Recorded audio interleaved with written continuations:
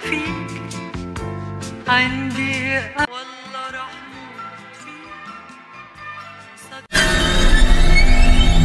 بقولك إيه لو الفلوس هفضحك الفيديو اللي بعتهولك ده هبعته لكل الناس اللي تعرفك الفلوس تكون عندي النهاردة غير كده متلومش الا نفسك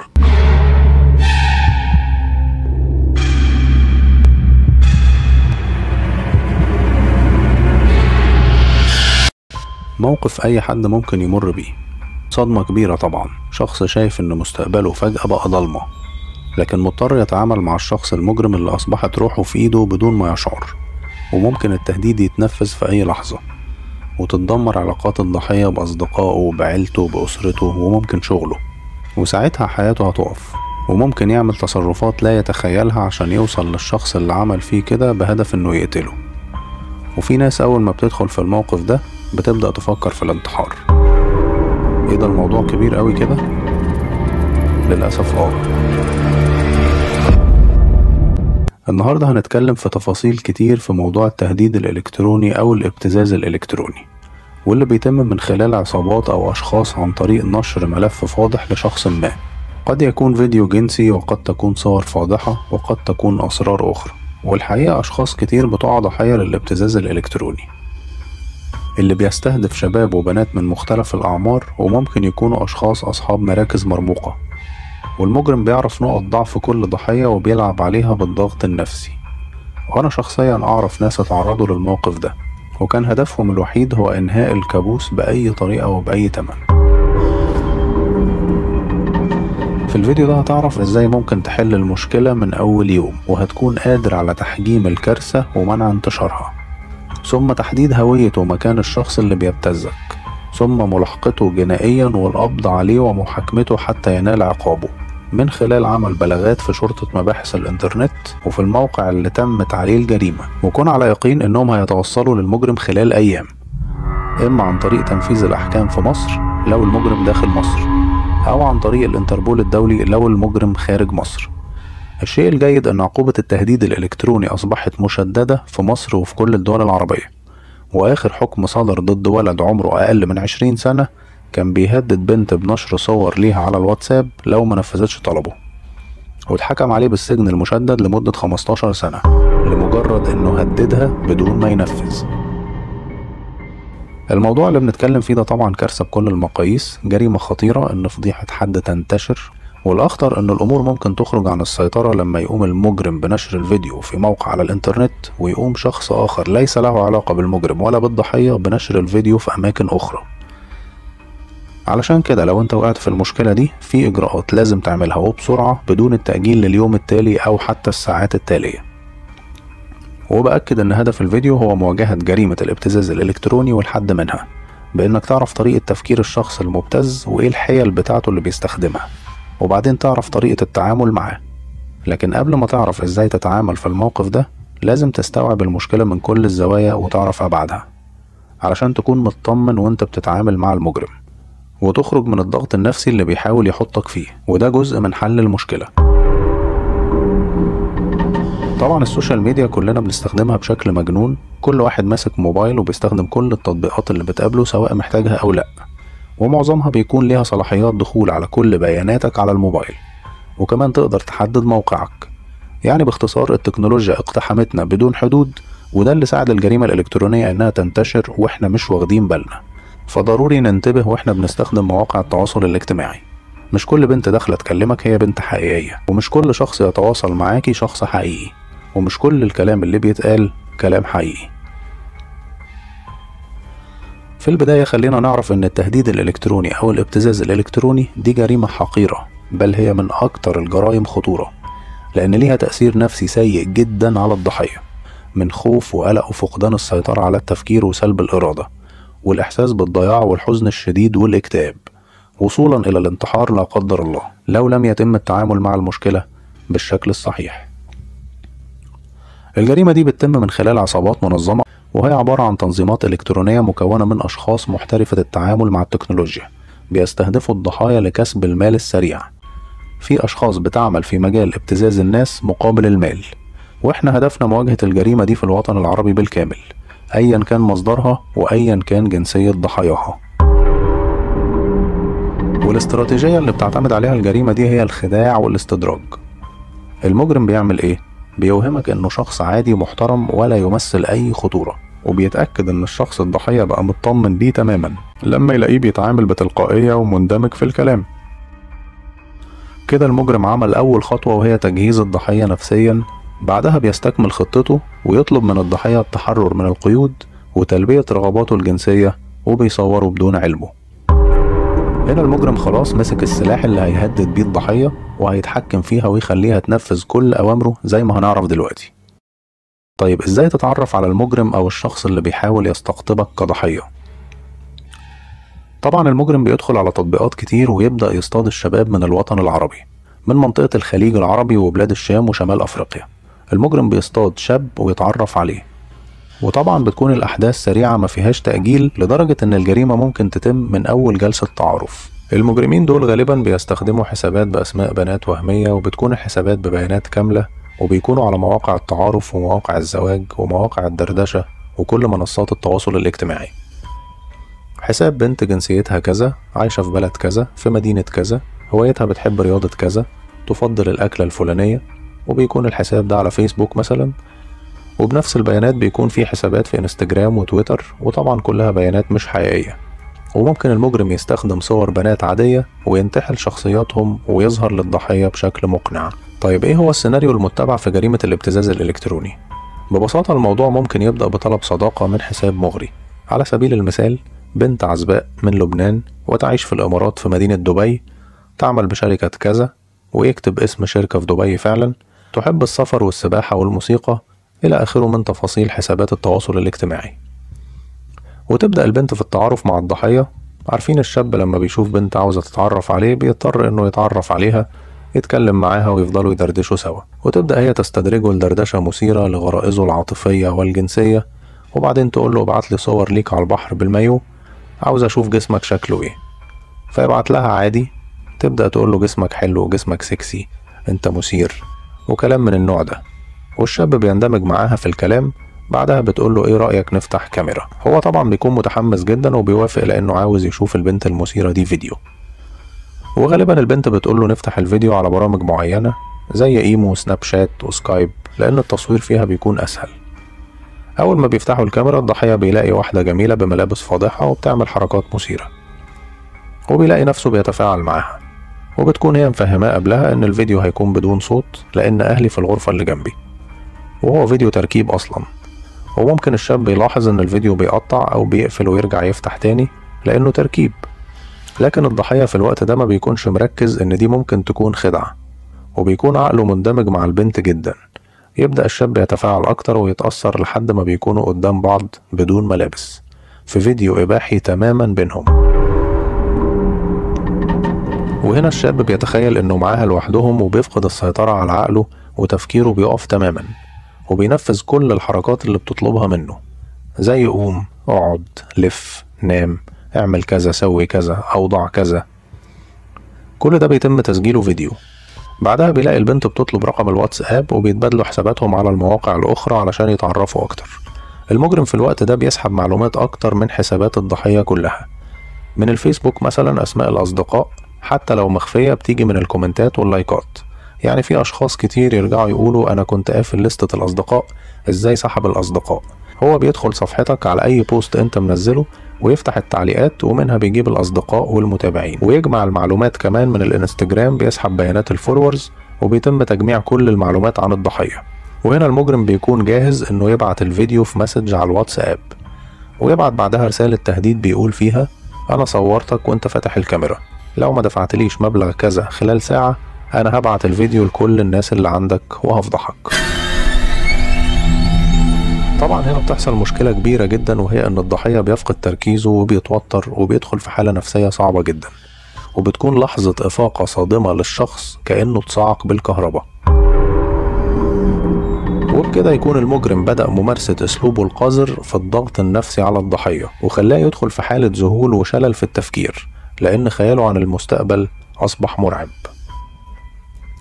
المجرم ممكن يتنرفز عشان يضغط نفسيا أكتر ويبدأ يسب ويشتم ويطلب مبالغ كبيرة وبعدين ممكن تفاصل معاه وينزل في السعر. لكن دي حاجة مش كويسة. ليه؟ لأن واحد كذاب ونصاب وهدفه ياخد منك فلوس. ولنفرض طلب منك عشر تلاف ووصلهم ألفين. فتبعت له الألفين فيطلب كمان. ففي جميع الأحوال بغض النظر عن المبلغ المطلوب مبلغ كبير أو صغير انت أول ما بتبعت له فلوس هيرجع لك ويبتزك بشكل أقوى. شكل تاني للجريمة الإلكترونية وهي إن المجرم بيعمل نفسه شخص محترم وحزين. ويبدأ يقولك أنا ظروفي صعبة وظروفي قاهرة ابني مريض وأختي تعبانة وأمي عيانة. ويبعت لك صور لولد صغير مشلول أو رجله مقطوعة وإيده مقطوعة.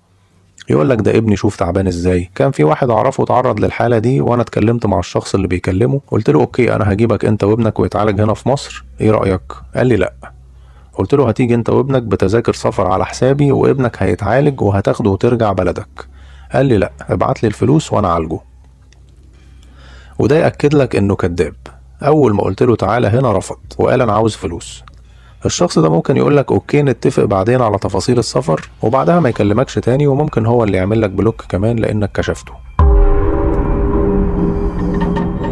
في شكل تالت للابتزاز الإلكتروني وهم الناس اللي بيدعوا جلب الحبيب وجلب الصديق. وبيكون عامل نفسه شيخ وهو دجال وكذاب ومجرم. يوهم الضحية إنه بيجلب الصديق وبيجلب الحبيب وقادر على السحر والشعوذة. الموضوع ده بيستهدف إخواتنا البنات غالبا. اللي هم أكتر عرضة للوقوع في الابتزاز من النوع ده. الشيوخ بيكونوا عاملين نفسهم سحرة ومشعوذين على مواقع التواصل الاجتماعي وبيكون مسمي نفسه بقى أبو بكر أبو خزاعة أبو أنس أبو أبو أبو. وإنه شيخ بيجلب الحبيب والصديق ويقدر يسحر ويشعوذ. طبعا البنات بتندمج عاطفيا أكتر مع الأمور دي وبتجري تبعت للناس دي تقول له يا شيخ أنا عاوز أجلب الشخص الفلاني عشان يتجوزني. ويقول لها أوكي تمام إن شاء الله وتوكلنا على الله. ويبدأ يتكلم بالدين والقرآن والأحاديث ويقول لها المطلوب منك تقري آيات معينة بعد صلاة الفجر وآيات معينة قبل صلاة المغرب ويديها ترتيب معين أول يوم وتاني يوم. وفعلا بتحس إنه بجد في روحانيات ونفحات إيمانية وبتشعر إنها في حالة نفسية جيدة ومرتاحة وبتطمن للشيخ جدا. ويفضل كذا يوم على نفس الوضع وبعدها يبعت للبنت كتابات ويقول لها اكتبيها على جسمك وتصوري وانت في الحمام بدون أي ملابس. والكتابات دي تكون باينة على جسمك واطلبي طلباتك في الفيديو. وقولي أنا عاوزة فلان الفلاني يتجوزني. ويبدأ الشيخ يطلب منها رقم الشخص اللي عاوزة تتجوزه وكل حساباته وأرقامه. وطبعا هي هتكون مفكرة إن الموضوع ديني والموضوع هيمشي مية في المية. وبيكون الشيخ طالب مبلغ صغير علشان يعمل الموضوع بالكامل. بنات كتير طبعا بتبعت الفيديو للشيوخ دي وخصوصا لو بتكلم شيخة. طبعا بعد ما ياخد الفيديو بيقول لها أنا مش شيخ ولا أي حاجة أنا خدعتك وممكن أبعت الفيديو لأي حد. وبيكون الشيخ اخد أرقام وحسابات الشخص اللي عاوزة تجلبه وأرقام وحسابات أهلها. وهنا المصيبة الكبيرة. البنت بتتصدم طبعا وبتضطر تنفذ كل طلبات وأوامر الشيخ بدون تردد.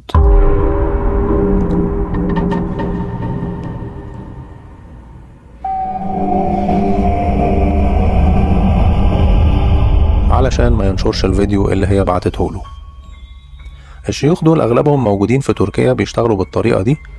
خلوا بالكم وانتبهوا يا جماعة للدجل والدجالين لأن ديننا أصلا وكل الأديان حرمت إن أنت تتعامل مع السحرة والمشعوذين. في شكل تاني كمان للجريمة الإلكترونية وهي الأشخاص اللي بتبعت تقولك إنك كسبت جايزة، كسبت عربية، كسبت بيت، كسبت أرض، وممكن ينشروا فيديو لشخص إنه كسب عربية قبلك واستلمها ويصوروه فعلا فيديو مع العربية، وبيكون على العربية لوجو المؤسسة الوهمية اللي بتكلمك. طبعا ناس كتير ممكن تقتنع ويسأل إيه المطلوب مني. يقولوا له مطلوب منك مثلا تبعت ألف دولار مصاريف الشحن فيبعت. طبعا كل ده كذب ولكن ده استغلال للفقراء والمحتاجين اللي لما يسمع خبر زي ده عقله بيطير ويبطل يفكر. كان قبل كده أحد الأشخاص عصابة كانت في الأردن كلمته وهو في مصر على إنهم شركة عالمية وبعتوا له أوراق العربية والعقود وكل حاجة وصوروا له كل حاجة واقتنع تماما واطمن إنه كسب عربية. وطلبوا منه 1200 دولار وبعت لهم الفلوس فعلا وبعدها اختفوا. طبعا الموضوع ده ساذج جدا ولكن في ناس برضو بيقعوا فيه وللأسف ناس مش قليلين. فنخلي بالنا يا جماعة إنه أي عرض بيتم عرضه علينا خصوصا لو كان عرض مغري جدا كل ما كان العرض مغري كل ما تقلق وتشك في الشخص اللي بيكلمك إنه يكون كذاب ونصاب وعاوز ياخد منك فلوس ويختفي. أما بالنسبة للحالة الأخيرة ودي موجودة في مصر. ناس بتستهدف شخص غني داخل أو خارج مصر ويقولوا له في آثار مدفونة تحت البيت الفلاني أو في المنطقة الفلانية. تعال استلمها وهناخد منك مبلغ وبيعرضوا مبلغ رخيص. ولما الضحية توصل بيخطفوه أو بيسرقوه يبلغوا عنه. طيب إحنا كده عرفنا الأنواع والأشكال والطرق اللي بيستخدمها المجرمين في جريمة الابتزاز الإلكتروني. لكن إيه هي بقى الإجراءات الصحيحة في التعامل مع الابتزاز الإلكتروني؟ رقم واحد أهم حاجة إنك تكون قوي وما تخليش الشخص اللي بيبتزك يحس إنك خايف أو مصدوم أو مهتم وقول له دي مش أول مرة ومش فارق معايا حتى لو نشرت فيديوهاتي أو صوري. رقم اتنين في نفس الوقت تحاول تجمع أكبر قدر ممكن من المعلومات عن المجرم. يعني لو بيكلمك على واتساب على إيمو على إنستجرام على فيسبوك على تويتر على لاين أي تطبيق بيكلمك عليه سجل كل حساباته اللي كلمك منها. وأول ما يبدأ يبتزك إياك تمسحها. خليهم عندك واحتفظ بيهم وبأرقامه والمحادثات اللي تمت بينكم. وطبعا ما تحاولش إنك تستدرج الشخص المبتز ولا تسحب معلومات أكتر من اللازم. أنا عاوزك تجمع معلومات عن الحسابات اللي تواصل بيها معاك وبس. حد ممكن يقول لي طيب أنا ممكن أستدرجه وأسحب منه معلومات؟ لا غلط. ما تحاولش تسحب منه معلومات زيادة علشان ما تستفزوش فينفعل أكتر. رقم ثلاثة هتقفل حسابك تماما. لو أنت مثلا كنت بتكلمه على حساب فيسبوك هتعمل تعطيل لحساب الفيسبوك. هتقفل حساب الفيسبوك ولكن مش هتعمل ديليت لحساب الفيسبوك. وده علشان تحتفظ بكل المحادثات اللي تمت بينك وبينه وكمان علشان تبعت له رسالة ضمنية إن أنت مش فارق معاك وإن أنت اللي عندك اعمله. رقم أربعة ما تنفذش أي طلبات للشخص اللي بيبتزك. إذا طلب منك مبلغ ما تبعتلوش حتى لو كان مبلغ بسيط. لأنك لما تبعت له المبلغ اللي طلبه الموضوع مش هينتهي على كده. بالعكس أنت هتشجعه إنه يطلب فلوس تاني. انت لما بعت له اول مرة خليته يحطك في الليستة اللي هيشتغل عليها كل شوية. انت خليت مشكلتك اكبر وخليت المبتز ينجح في خطته ودي بتكون اسعد لحظاته. وبيفضل مستمر ومركز معاك وبينقلك في لستة الشغل بتاعه. لأن أول مبلغ هو طلبه منك وأنت بعتهوله ولد عنده إصرار أكتر إنه يرجع يبتزك مرة تانية وتالتة وبتكون شجعته إنه يكمل في المجال اللي هو شغال فيه. وإحنا علشان نحارب الابتزاز الإلكتروني يا جماعة لازم يكون عندنا مبدأ وهو عدم إرسال أي مبالغ مالية علشان الناس دي تزهق وتبعد عن المجال ده تماما. لكن اللي بيخليهم يشتغلوا ويستمروا إن أشخاص كتير بيلبوا طلباتهم ويبعتوا لهم فلوس. يعني لو الشخص ده بيحاول ابتزاز 30 شخص فأنت هتكون من ضمن 10 أشخاص استجابوا لأوامره وبعتوا له فلوس. وغالبا هيزهق من العشرين شخص اللي ما بعتوش فلوس لأنه مش عاوز يضيع وقته مع ناس مش فارق معاها. هو بيحسبها كده. بيفلتر الأشخاص المستهدفة لناس يجي منها وناس مش فارق معاها. وفي الآخر هو همه الفلوس مش همه إن هو يفضحك. فلما بيلاقيك قوي وغير مهتم بيسيبك ويدور على الأشخاص الخاضعين اللي يقدر يسحب منهم فلوس كذا مرة. رقم خمسة ما تتكلمش مع المبتز كتير سيبه هو يتكلم ويطلع كل اللي عنده وانت ممكن تسأله أسئلة عامة من نوعية أنت مين؟ أنت تعرفني منين؟ أنت متضايق مني في إيه؟ انت من الشغل عندي ولا من الجيران ولا من معارفي وطبعا ما تسبوش ولا تشتمه ابدا ولا تستفزه رقم ستة ابحث عن ملف الفيديو اللي بعتهولك الشخص المبتز بنفس الاسم اللي بعتهولك بيه لأنه ممكن يكون رفعه على موقع استضافة ملفات مثلا. إذا لقيت الملف ظهر في البحث على أي موقع احفظ كل روابط الملف لتضمينها في بلاغ الشرطة بعد كده. واعمل البحث ده يوميا لمدة خمس أيام متتالية لأن جوجل بيأرشف الملفات المحملة على الإنترنت بعد يوم أو اتنين وتحاول طبعا إن أنت تمسح الملف من المواقع اللي لقيته فيها. رقم سبعة إبلاغ شرطة النجدة هاتفيا ثم التوجه لمباحث الإنترنت وتحرير محضر بالواقع وإرفاق كل البيانات والمعلومات عن المجرم وكل ال screenshots للمحادثات اللي بينكم وروابط حساباته الإلكترونية والملفات اللي بعتها لك. ممكن تتصل بيهم على طول أو تتصلي بيهم على طول بدون أي إحراج وبدون أي تردد وهيساعدوك وهيقوموا باللازم في أسرع وقت طيب لو الشخص نفذ تهديده ونشر الفيديو اللي عنده تعمل إيه؟ بتبلغ إدارة الموقع عن المحتوى اللي تم نشره وهم بيتعرفوا على المحتوى وبيتم التعامل مع المحتوى بشكل صارم في أغلب الأحيان هسيب لك في صندوق الوصف طبعا روابط الإبلاغ عن انتهاك الخصوصية والإبلاغ عن التشهير والإبلاغ عن انتحال الشخصيات. وكمان رابط للإبلاغ في جوجل أليرت. ودي أداة بيوفرها موقع جوجل إنك تدخل ترفع بيانات الملف اللي تم التشهير بيك فيه وهم بيتعاملوا مع الملف ده وبيمسحوه من على الإنترنت. حد ممكن يقول إن ضحايا الابتزاز الإلكتروني ناس بدون أخلاق ويستاهلوا اللي يحصل لهم لكن ده غير صحيح. كلنا بنغلط وكلنا ممكن نتخدع. وممكن نضعف وممكن نجرب وممكن نرتكب معاصي.